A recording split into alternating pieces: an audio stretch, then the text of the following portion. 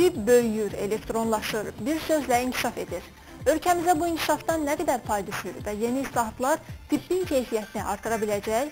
İlk tamaşaçı öz baxış bucağını sərgiləyir və soruşur. İcbari tibbi sığorta səhiyyəmizi inkişaf etdirəcəkmi?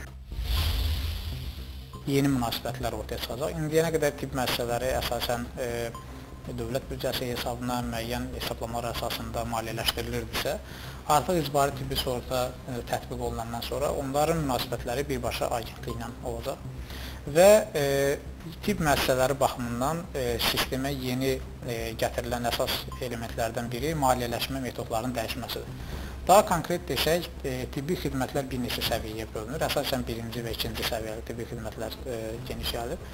İlkin səviyyəli tibbi xidmətlər, yəni ilkin səhiyyə xidmətləri nəzərdə tutulur. Bura Azərbaycanda son dövrlərdə e, aparılmış islahatlar nəticəsində ailə həkimi praktikanın gətirilməsidir. E, ikinci səviyyəli xidmətlər isə xəstəxana xidmətləridir.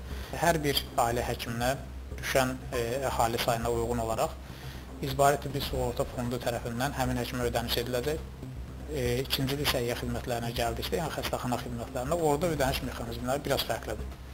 E, orada əsasən e, bir çox ölkələrdə son dövrlərdə artıq kliniki xəstələr qrupu deyilən qrup e, ödəniş mexanizmindən istifadə edirlər. Yəni hər e, kliniki hal üzrə, xəstəlik halı üzrə xəstəxanalara müəyyən məbləğdə vəsait ödəyirlər və bu e, xəstəlik halı üzrə e, ödəniş məbləğləri əvvəlcədən müəyyənləşdirilir E, təbii ki, bu proses baş verməlidir elektronlaşdırılmış qaydada ki, orada operativlik olunsun. Yəni 5 ay əvvəl müalicə olunmuş bir xəstə üçün sonra müraciət edəndə onun ödənişi gecikməsin və tibb müəssisələri də bundan əziyyət çəkməsinlər.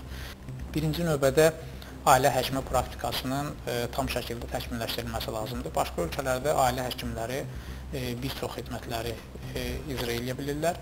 Azərbaycanda da e, yəqin ki, ailə həkimlərinin bu sahədə bilik bacarıqlarının artırılmasına ehtiyac olacaq.